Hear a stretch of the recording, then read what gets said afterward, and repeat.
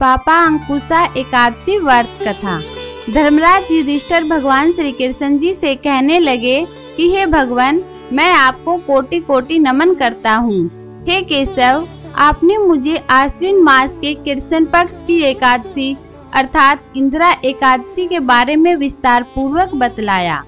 अब आप कृपा करके मुझे आश्विन मास के शुक्ल पक्ष की एकादशी के विषय में भी बतलाइए। इस एकादशी का क्या नाम है? तथा इसके व्रत का क्या विधान है? इसका व्रत करने से किस फल की प्राप्ति होती है? कृपा यह सब विस्तार पूर्वक कहिए। भगवान श्री कृष्ण ने कहा, हे कुंती नंदन आश्विन मास के शुक्ल पक्ष की एकादशी का नाम पापा अंकुशा एकादशी है। इस एकादशी का व्रत करने से सभी पाप नष्ट हो जाते हैं। तथा व्रत करने वाला मनुष्य महापुण्य का भागी होता है। आश्विन मास के शुक्ल पक्ष की एकादशी के दिन इच्छित फल की प्राप्ति के लिए भगवान विष्णु का पूजन करना चाहिए। इस पूजन के द्वारा मनुष्य को स्वर्गलोक की प्राप्ति होती है। हे कुंती नंदन, जो मनुष्य कठिन तपस्याओं के द्वारा पुण्य फल की प्राप्ति करते हैं, वह पुण्य फल इस एकादशी के दिन क्षीर सागर में शेषनाग पर शयन करने वाले भगवान विष्णु को नमस्कार कर देने से ही मिल जाता है, और मनुष्य को यम के दुख नहीं भोगने पड़ते। मनुष्य को पापों से बचने का दृढ़ संकल्प करना चाहिए। भगवान विष्णु का ध्यान करना किसी भी रूप में सुखदायक और पाप नाशक है। परंतु पापा अंकुशा एकादशी के दिन भगवान विष्णु का स्मरण और कीर्तन करने से सभी कलेशों और पापों का नाश हो जाता है।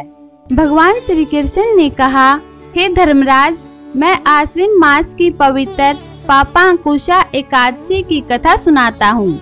तुम ध्यान पूर्वक सुनो। प्राचीन समय में विंध्य पर्वत पर क्रोधन नाम का एक शिकारी रहता था। वह बड़ा क्रूर और पापी था। उसका सारा जीवन हिंसा, लूटपाट, मद्यपान, गलत संगति और पाप कर्मों में बीता। जब उसका अंतिम समय आया, तब यमराज के दूत शिकारी के पास आए और यमदूत ने शिकारी से कहा कि कल तुम्हारे जीवन का अंतिम दिन है, हम तुम्हें कल लेने आएँगे। यह बात सुनकर शिकारी बहुत डर गया और महर्षि अंगिरा के आश्रम में पहुँचा और महर्षि अंगिरा के चरणों पर गिरकर प्रार्थना करने लगा, हे ऋषिवर, मैंने जीवन भर पाप कर्म ही किए हैं। कृपा कर मुझे कोई ऐसा उपाय बताएँ जिससे मेरे सारे पाप मिट जाए और मुझे मोक्ष की प्राप्ति हो जाए।